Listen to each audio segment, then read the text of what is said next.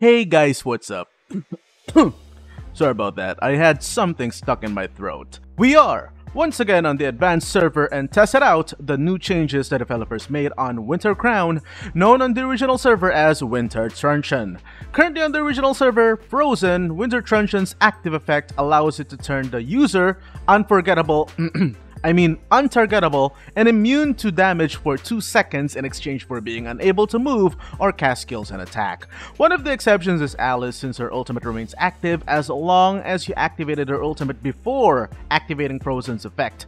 On the advanced server, this effect was greatly buffed with one simple mechanic change. All skills can now be casted by the user who activated Frozen.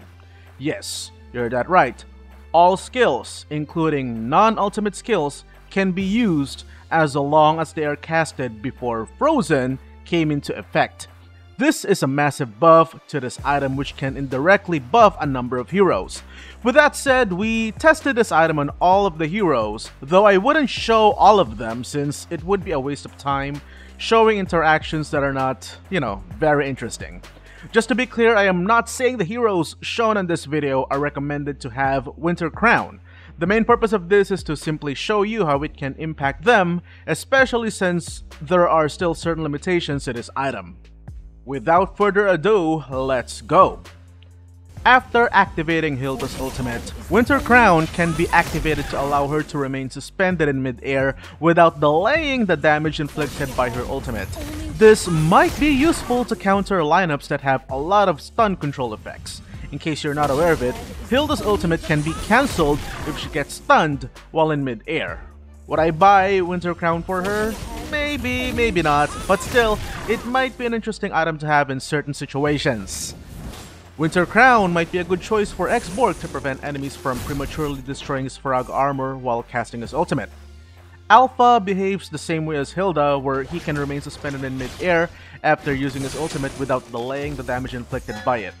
As for heroes like Granger who have multi-stage skills or skills that can be casted multiple times, Winter Crown doesn't work too well since you won't be able to activate the next stages or phases of their skills while Frozen is in effect. With Leslie on the other hand, you can continue attacking using her ultimate while in frozen status. I guess because technically you are not recasting her skill? Interesting interaction. Hmm. This might be useful on Badang to avoid getting bursted by enemies while casting his ultimate. Whether or not getting this item for him is worth it is totally up to you. As for Leomord, it can be a good countermeasure against heroes that use knockback effects, which can cause Leomord to miss riding Barbiel. If Leomord gets countered by heroes like Valir, Chou, or Akai, activating Winter Crown while waiting for Barbiel might be a good idea. Esmeralda can also remain suspended in mid-air after activating her ultimate with Winter Crown's help. As for Hayabusa, it can't interact very well with his skills since all of his skills have quick animation. As for his ultimate, Winter Crown's effect activates but does not freeze Hayabusa at all. It makes sense though, I mean, Hayabusa is already untargetable while in its ultimate state. Using Winter Crown's effect during that time would be foolish. So yeah, nothing to see here.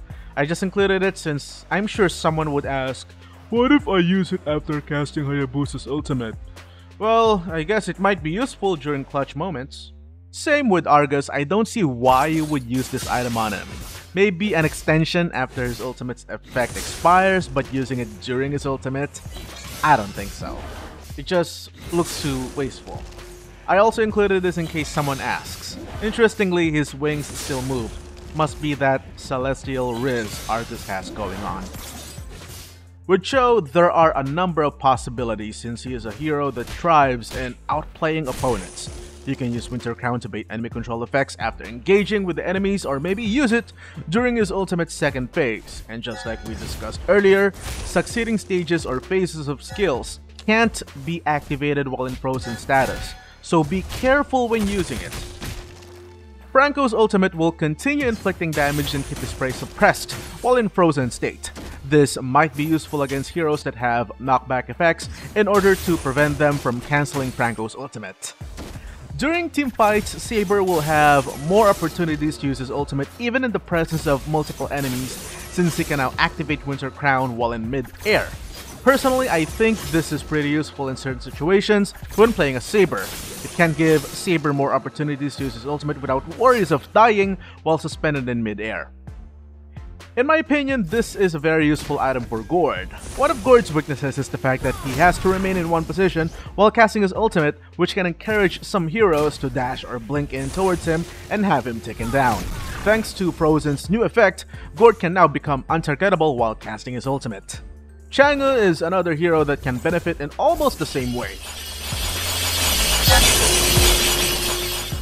I think this benefits Claude greatly since it would allow him to use his ultimate around multiple opponents without worries of getting bursted down. As long as Claude has a good setter teammate, activating Frozen while his ultimate is active might be a good idea. Terizla can use it to prevent enemies from stunning him when using his ultimate. It also looks pretty cool, no pun intended. Brody's ability to outplay opponents can be greatly improved by this item. As for Matilda, it doesn't work on her ultimate at all. Winter Crown cannot be casted while she is flying around. Man, it would be cool seeing a frozen ice block flying towards her opponents, right? Missed opportunity right there. Johnson can turn into an ice mobile. I don't think that's useful though, but it's pretty cool. Also, there's a downside to this. Just like other heroes using Winter Crown, you can change directions while Frozen is active, which means Johnson can only drive in a straight path while Winter Crown is active. It's also not very useful in Pharsa since her ultimate is a multi-staged or multi-casted skill. Even when using her bird form, she's unable to move. For Akai on the other hand, it might be useful for some situations, such as avoiding advanced control effects while his ultimate is in effect. Odette is one of the heroes who will greatly benefit from this item because of, well, obvious reasons. Gatot, as far as I know, is already immune to control effects while he's in mid-air, so it's not very useful on him I guess. It does look pretty cool though. Estes is another one of those heroes that can greatly benefit from this item especially when Estes is countered by heroes such as Ian or heroes capable of isolating Estes. Casting Frozen while in his ultimate state will not stop Estus from healing his allies. Guinevere is already immune to control effects while using her ultimate. She can still be damaged though, so maybe this item can be a good choice against certain lineups or to allow her to survive clashes even after committing small mistakes and setting enemies up. Can be a good item to have when turret diving as well. With Atlas, I don't know, looks cool, I guess. It might be useful for Khufra in a number of situations, especially since his skills can be easily interrupted. Also, it looks cool.